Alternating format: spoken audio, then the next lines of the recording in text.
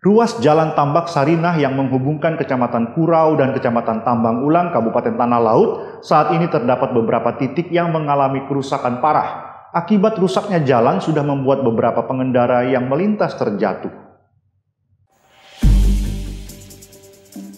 Beginilah saat seorang warga desa Gunung Raja, Kecamatan Tambang Ulang, menunjukkan bercak darah di jalan bekas pengendara yang terjatuh saat ingin melintas di jalan yang rusak. Insiden pengendara jatuh itu terjadi pada Rabu pagi kemarin. Adapun kejadian serupa sering terjadi. Beruntung tidak mengakibatkan korban jiwa. Jalan Tambak Sarinah atau yang dikenal juga dengan Jalan Rantau Bujur ini melintasi Desa Gunung Raja atau tepatnya kawasan RT 7. Ada empat titik ruas jalan yang rusak cukup parah. Menurut warga Desa Gunung Raja, empat titik jalan yang rusak parah akan becek saat musim hujan dan sering mengakibatkan insiden kecelakaan tiga empat sama yang sana empat titik lah yang selalu berair kalau musim hujan apa sih?